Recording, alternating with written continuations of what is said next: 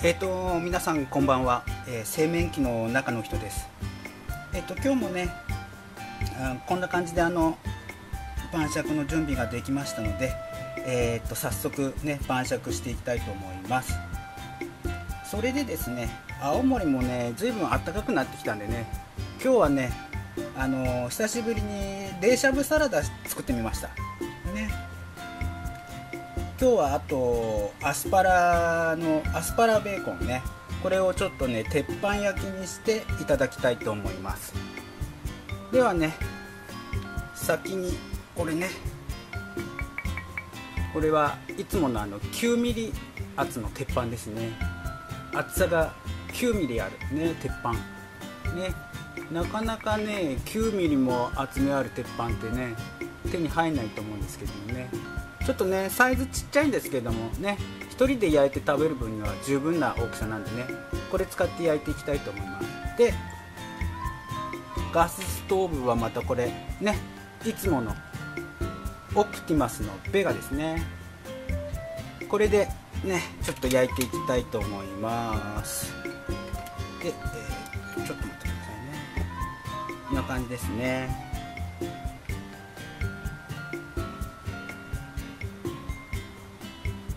でこれですね。おおピント先輩、うん、今日はなかなか早いかもしれないですね。えーと、これはあの新富士バーナーさんのスライド式のガストーチですね。で早速じゃあ火つけてね先に鉄板ね温めないといけないんでね。これでちょっとね鉄板を予熱していきたいと思います。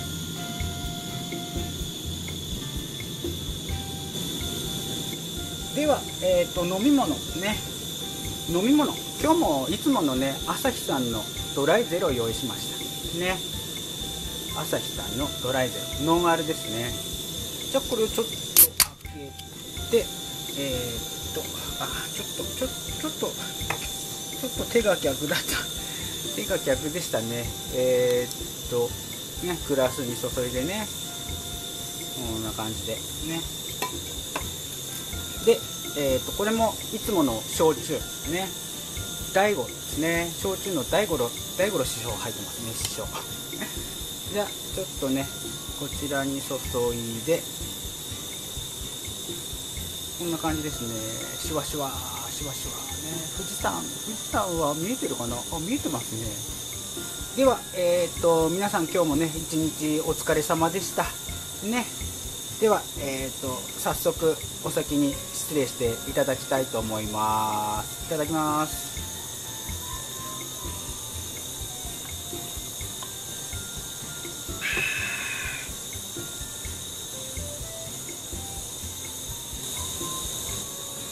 では、えーと、予熱している間にねこっちね紹介しちゃいましょうかね。今日の食材。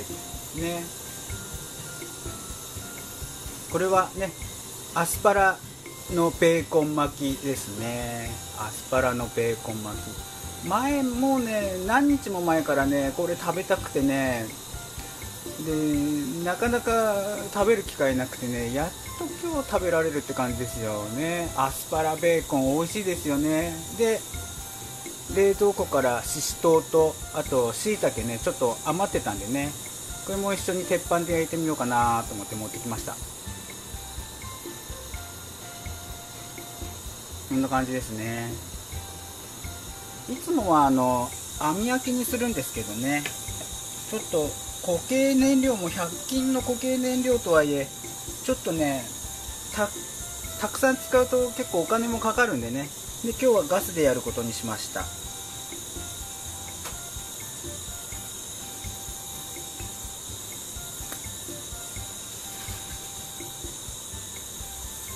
ろそろ鉄板の余熱もいいかな。ちょっとね油引いてね。油を引いて。ベーコンだから油引かなくてもいいかなと思ったんですけどやっぱりねくっついちゃうと困るんでね。一応油引いてやります。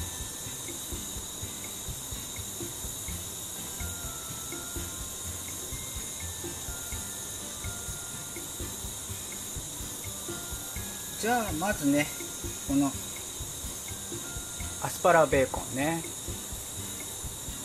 アスパラベーコンをこの辺で焼こうかな。おおいいですね。とししとしいたけもねしいたけこっち焼くかな。これでねまずは焼いていきたいと思います。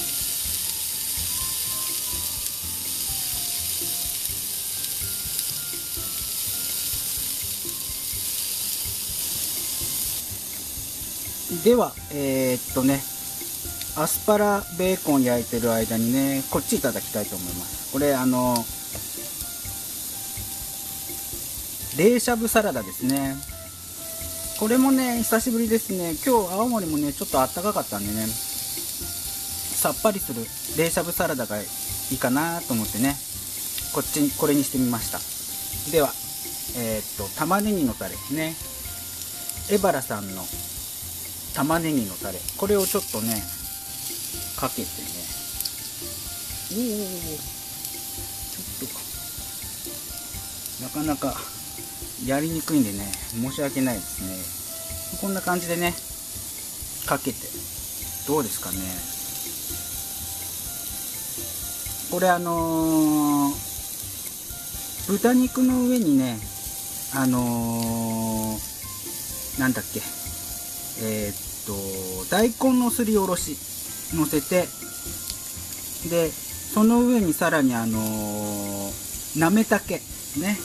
なめたけをのせてそれで玉ねぎのタレをかけてます、ね、こんな感じですね。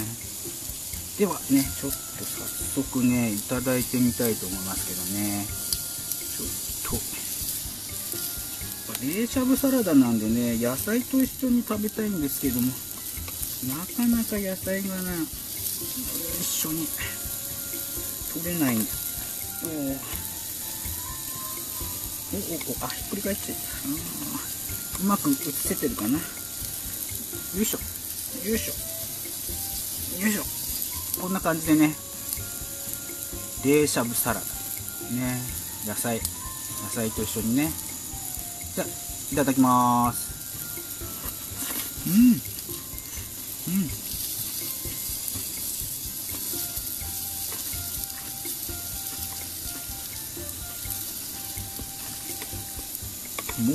切れぐらいいきたいんですけどもなかなか上手に。よいしょ。こんなもんでどうでしょうかね。豚しゃぶと大根おろしとねえのきと玉ねぎのタレですね。いただきます。うん。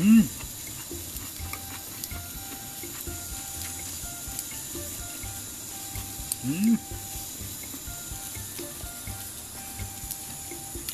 ぱりさっぱりしますね。うん。さっぱりして美味しいですね。まあこのねエバラさんのね玉ねぎのタレね。こういうねさっぱりした料理にねすごく合います。これ冷しゃぶサラダのに書いてありますけどもね。冷しゃぶすごい合うんでねおすすめしますね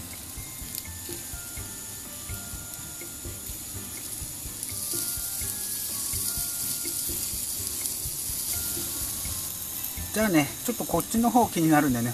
本当は本当はお酒飲みたいんですけどもちょっとね気になるんでね。あーそっか。下にこうくっついてるとこだけこう焼けてねついてないとこが焼けてないんですね。まあまあこれでもねなんとかこれで焼いていきたいと思いますけどもね。まあね。あのー、ベーコンもこれ火通さなくてもね食べられるんでね。しとうねししとうも焼いて。よしおししとうもね美味しそうに焼けてますね。じゃあこんな感じでねもうちょっと焼いていきたいと思います。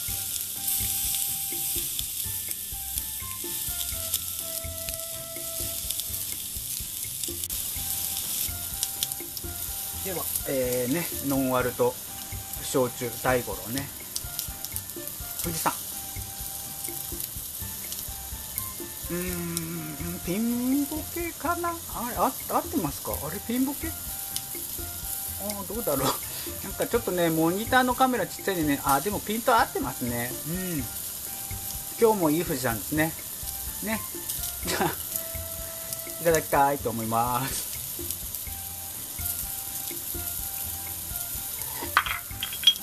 ではねおかわりしていきますよ。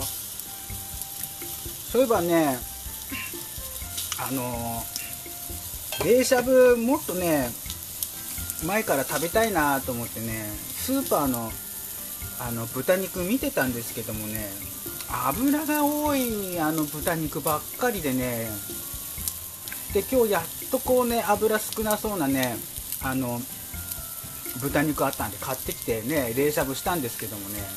ああじゃあちょっとねおかわりいただきます。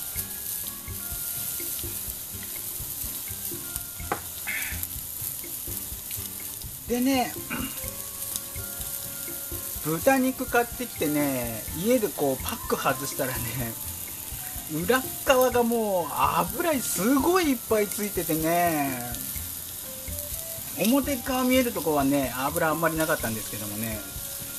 裏の方にこうね油畳まれてね隠れててねもうそういうのやめてほしいんですよ本当にね。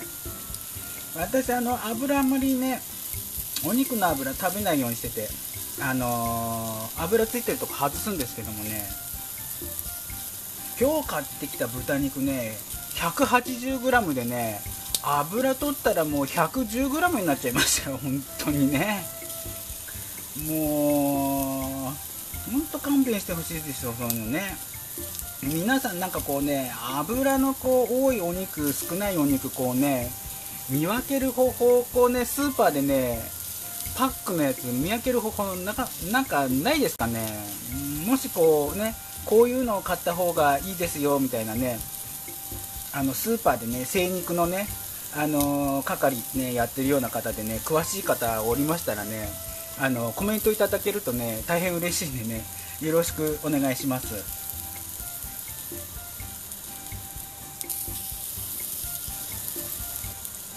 ちょっとねアスパラベーコンまたひっくり返してみます。あくっついちゃちょっとねくっついちゃってるんでお箸で申し訳ないですけどお箸でちょっとね。おおお肉はいいと思うんですけどあのアスパラがねこれ生のアスパラ使ってるんでねもうちょっと火通したいんでこのままもうちょっと焼きます。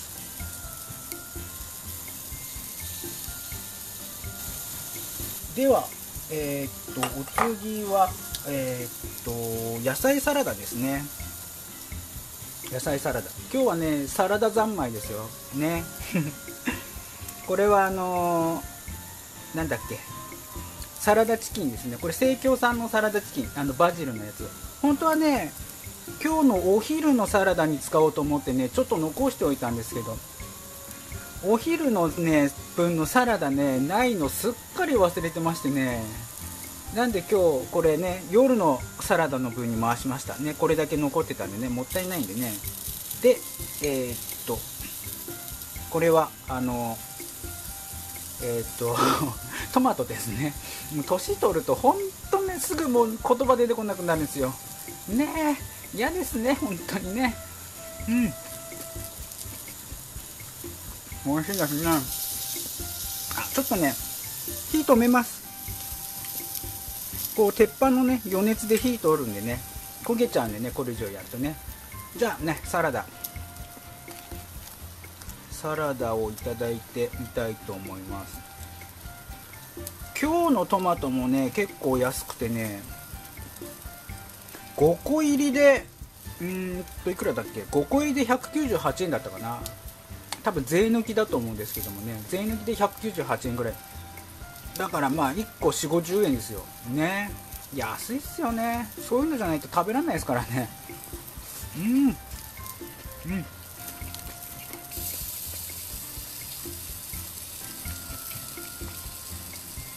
サラダチキンのねバジルの香りも美味しいですね。香り良くてね。うん。うん。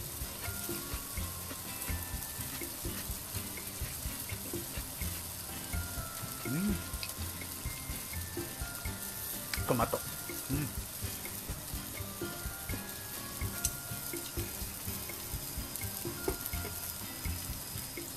うん、美味しいですね。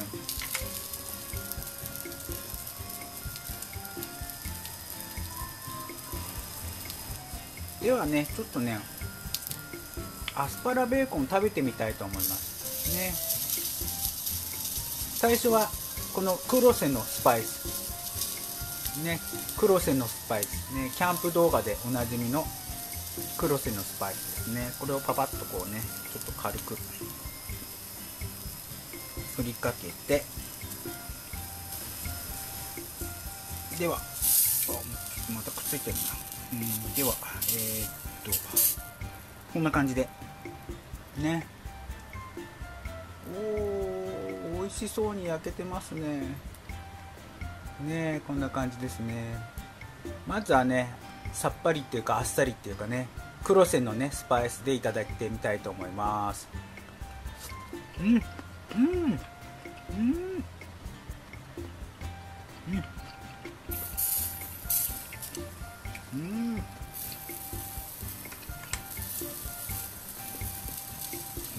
こうねベーコンとアスパラの相性っていいんですかね。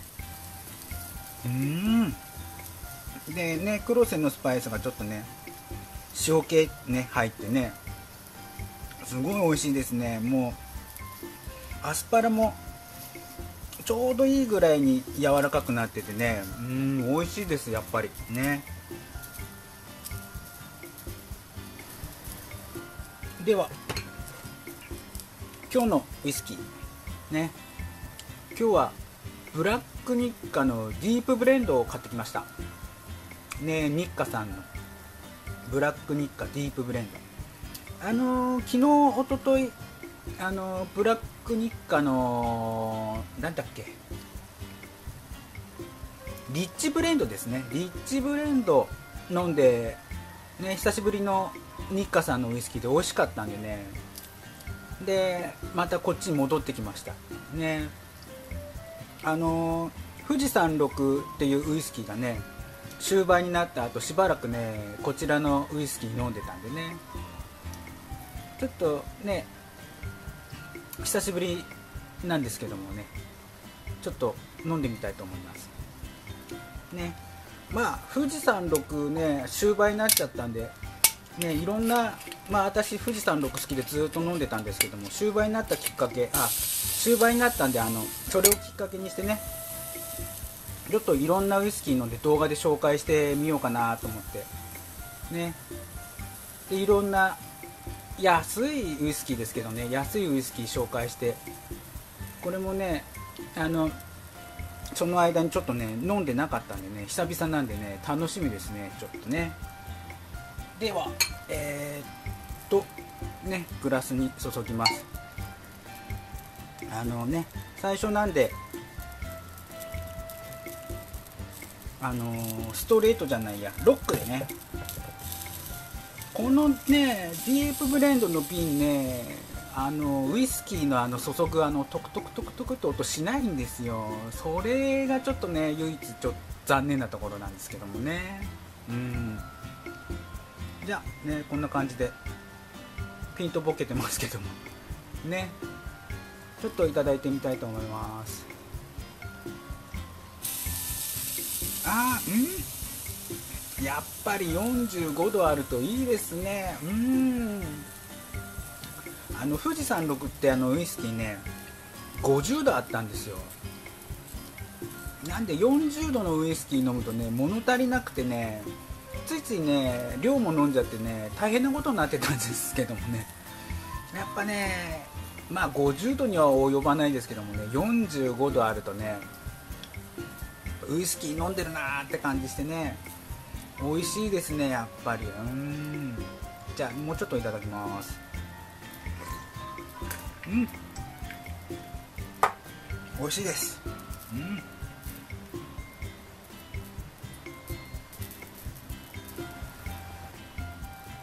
ちょっと今日はねなんかいつもと変則的になっちゃってますけどもね。これあのポン酢に七味と大根おろしね入れたやつですね。これでえー、っとしいたけもしいたけも焼けてるんでしいたけとししとう。これをいただいてみたいと思います。まずねしいたけからねこのやっぱり大根おろしちょっとねのせてね。こんな感じで。いただきます。うん。うん。ちょっと。干からびちゃってましたけどね。うん。やっぱりねしいたけはこう風味があってね美味しいですよね。でししとうね焼いたやつ。これもねいい感じに焼けてますよ。うん。じゃあいただきますうん。うん。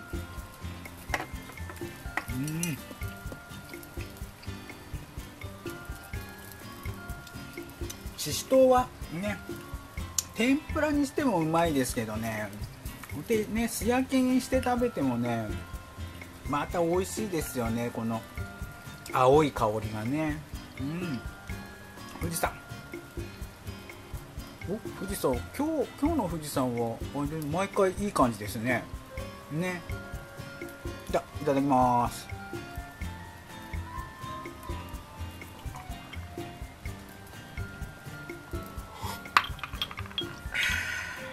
うん。ね。お酒が進むってもんですよ。ほんとうまいつまみあるとね。まあちょっとねおっさんなんでねちょっとこう枯れた感じのつまみばっかりですけどね。脂っ気ないね。申し訳ないですね。もうほんとね年取るとねなかなかねそういうのも食べらんなくなっちゃうんですよね。あの油っぽいものとかね。じゃいただきます。うん。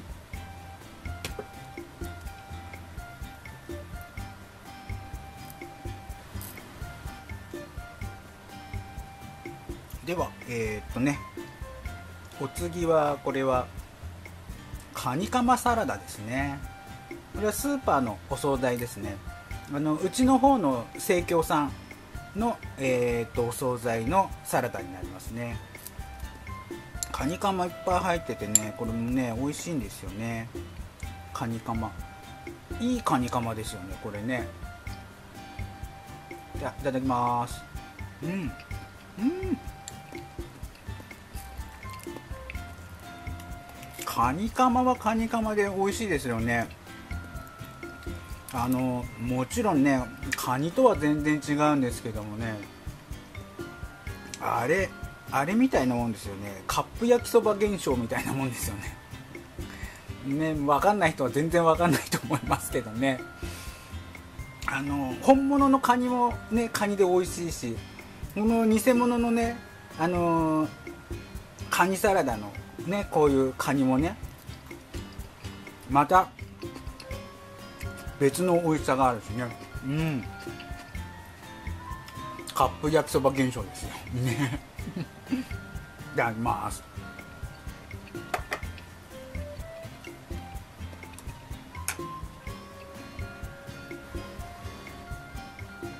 ではね日本酒。これもあの昨日と一緒の日本盛りさんのあの超辛口ですね。カニカマサラダの後なんでねちょっとあれなんですけどもね合うかどうかっていうんですけども。本当はねこう冷しゃぶあるんでね冷しゃぶに合わせてね出してきたんですけどもね。冷しゃぶもありますしねこのあのーベーコンとこのアスパラアスパラ巻きのベーコンね。これもちょっとねこうお醤油とマヨネーズとね七味こう入れたあのタレも用意したんでね。そっちで食べてから日本酒に行く流れで考えてたんですけどもね。今日ちょっとね流れがもうバラバラになっちゃってね申し訳ないですね。なんかなんであのカニカマサラダの後に日本酒になっちゃってね。ちょっとどうかなと思うんですけども。まあねちょっと飲んでみます。うん。この辛口いいですね。うん超辛口。これね2リッターで1000円ぐらい。もう1000円ちょっとしたかな。1000円ぐらいだったかな。まあそのぐらいの値段ですよ。ね。美味しいですねこれね。うん。もう酒飲みが普段飲むにはもうねもってこいのお酒だと思います。ね。酒飲みの人どっちかっていうと多分辛口好きな人多いんじゃないかと思うんでね。結構辛口で美味しいんでねおすすめします。あの日本盛りさんの、えーと、超辛口っていうね日本酒ですね。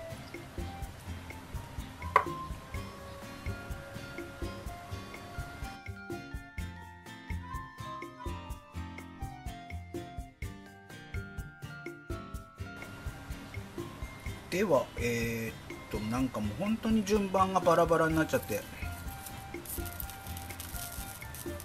次はちょっとこれねちょっと串から外してこれでいただきたいと思います。これねこれあのお醤油にこれ80%カロリーオフのマヨネーズ。ね。あの正式にはマヨネーズじゃなくてマヨネーズ風のドレッシングになるんですかね。これねカロリー低いやつね。それに七味入ってます。ね。あのーベーコンのこの油にはねあのやっぱりお醤油ね相性いいですよね。あのベーコンエッグとかやってもこうお醤油で食べるとねやっぱベーコンね油ねお醤油と相性良くてねすごい美味しいですよね。こんな感じでねいただきます。うん。うん。や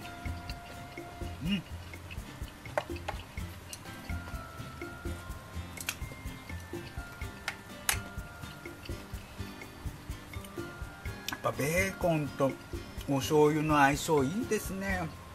うん。やっぱベーコンのこの油にはお醤油がすごい合いますよね。うん美味しいです。ではえー、っとね大五郎焼酎ですね。大五郎ああちょっとちょっと入れすぎちゃったかな。ちょっと入れすぎちゃったんでちょっと飲みます。うんこんなもんかな。ね。でまたウイスキー。よいしょ。ブラックニッカのディープブレンドね。今日は飲みすぎないようにしないとね。もう45度ありますからねこれね。これ飲みすぎちゃうとちょっと大変なんでね。こんな感じで。ね。ちょっとまあ、よく混ざってないですけどもね。焼酎とウイスキーとかをね割って飲むのね。美味しいんでね。いただきます。うん。うん。うん。美味しいですね。うん。あもうもう一口いこうかな。うん。うん。もう一口で飲んじゃいましたね。うん。やっぱ美味しいですね。ではえー、っとね冷しゃぶサラダ。冷しゃぶサラダあちょっと待ってくださいね。これちょっとえー、っと玉ねぎのタレちょっと少し足します。ちょっとねタレないと美味しくないんでちょっとね足してこれでいただきます。よいしょ。よいしょ。ね。こんな感じで。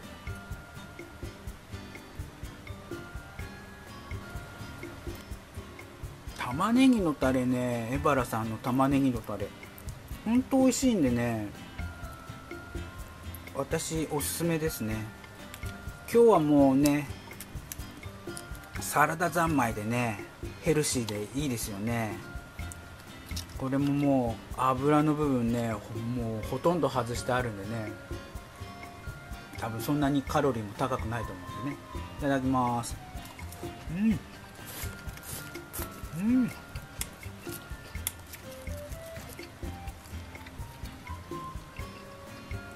ただねサラダと味がかぶっちゃうんですよね。やっぱ同じような味付けでやってるんでね。まあしょうがないですよねそれはね。よいしょ。ちょっとこうねの大根おろしとかもこうのせてね。こんな感じで。ね。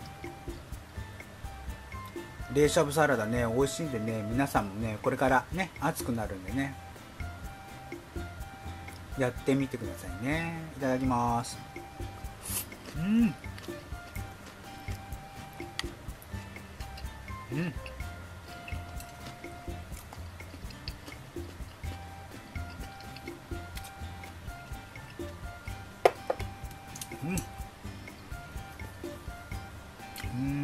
りして美味しいですねやっぱり。